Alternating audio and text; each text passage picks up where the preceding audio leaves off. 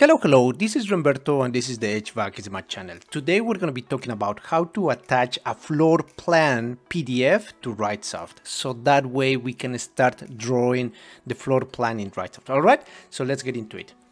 Alright, so to begin with, we need to know the grids okay so if we we see this area that is the the right draw okay so let's go to drawing so in drawing we have the grid settings in grid settings we have these 12 12 12 12 so the grids are every 12 inches 12 by 12 and the snap is every 12 by 12 inches. So usually what I do preferably, I do 6, 6, 6 and 6 and then we put OK. So we're fine with that. See, we have a better, a different type of uh, grid system in here. Okay.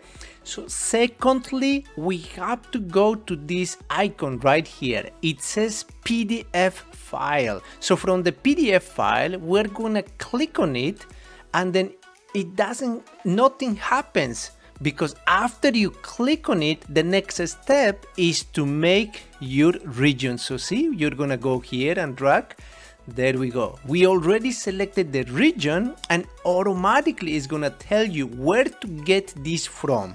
So personally, I have my floor plan in PDF in this folder. So I'm gonna put in here, I'm going to select the PDF folder and open okay there we go and actually see it's not the complete floor plan so what we have to do is I'm going to zoom out and then I'm going to extend this selection so that way the complete floor plan can be shown in the right draw see?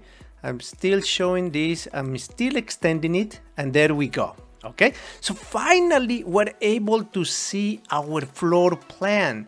And once we see our floor plan the next step is to scale it.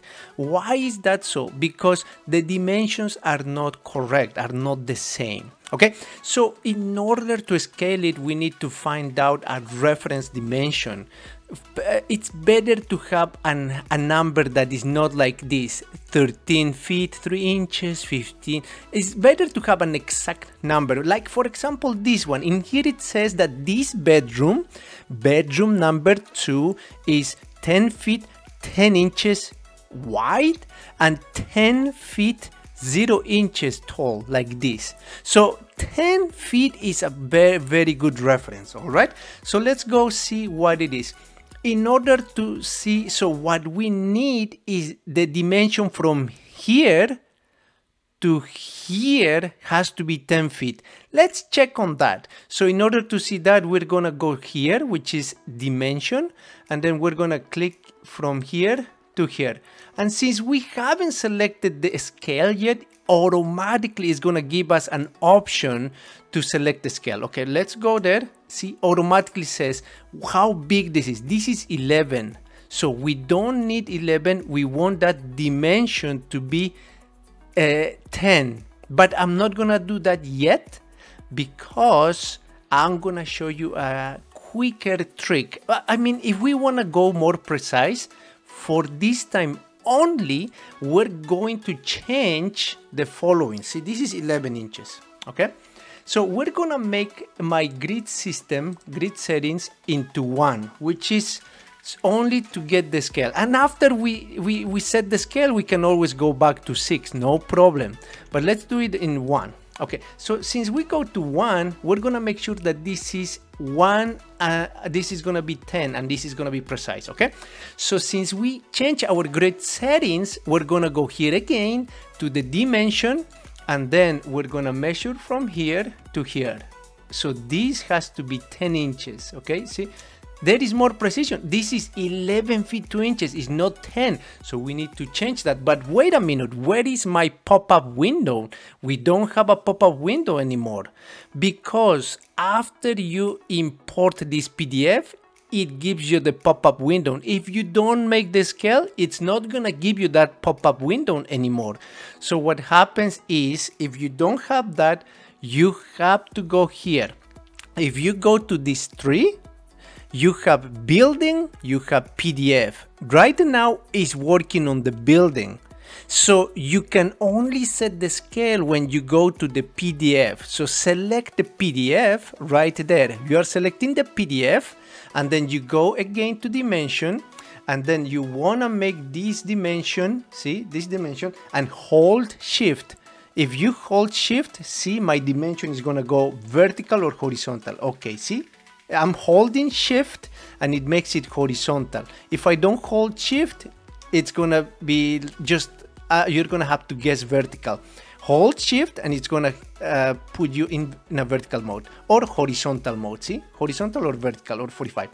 Okay, since we have that, there we go. Oh, now it's showing the select object scale. Why? Because we are on the PDF, PDF, working on the PDF. So the dimension is 11 feet. The desired dimension, you want it to be 10. So let's put 10 and you say, okay, perfect. Okay, once you have 10, now you can always measure this and make sure that this is 10. See? There we go. It's 10 inches.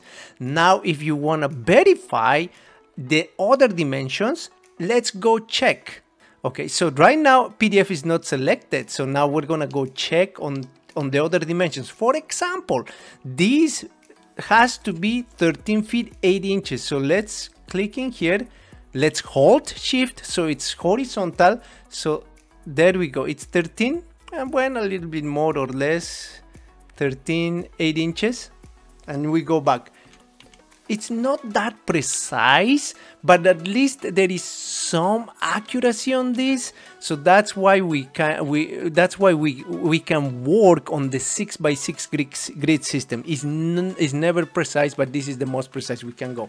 But if you are a little bit picky and then you are saying, no, I wanted this to be like that, well, let's try to do it again. Why not? Let's start from zero again. Let's become picky again. So, number one, you go to the PDF, right? That is the PDF. Okay, see, if the PDF is selected, then we are able to do a scale. So in the scale, I'm gonna press on the dimensions and you want this scale right here see i'm holding shift so it's uh, it is horizontal only. There we go. Okay so you want that dimension to be 13 feet 8 13 feet 8 inches. So that would be maybe 13.7 okay there we go. And you hit okay okay no problem. So see now you have 13 feet 8 inches how about if we check on the other side? Let's go check on the other side and let's see here. I'm gonna show you another trick too. If you don't wanna keep on dragging, you're go eh, and if you wanna see these dimensions to change, if you try, if you press the arrow to the left, this dimension is gonna go to the left. See, left. If you press right, this dimension is gonna go to the right. See, right arrow to the right. But if you hold shift, see, hold shift and then press arrow to the right, it's going to increase, going to the right. The same thing, hold shift, press arrow to the left, it's going to decrease in size. Look at this, that's a marvelous uh, a trick. Okay, so you want it to be this 13 and 3, 13 feet and 3 inches. And now I'm gonna move it to the side, see? As you can see, this is 13, 3 inches. All right. So now, because we imported and this is very well scaled, let's go in checking here again. So you click in here and see, I can I cannot drag this dimension. Why? Because I'm when I click, the PDF gets selected. So if that is a problem, then go lock the PDF. The PDF is right here, lock it. So go hover over this hand and double click. If you double click, do you see the lock? There is a lock in there, so which means it's locked. It's not going to select the PDF anymore. So that's a very good trick because now I can select my dimension right here. It's not gonna select the PDF. Okay, so go to the dimension and as you can see, this is 10 feet. So this actually is good to go so that way I could start drawing over my uh, my rooms, my overall floor plan so I could do the heat load calculation. All right. So I hope you enjoyed this video and if you did, hit the like button and subscribe. All right. Thank you so much and I'll see you in the next video.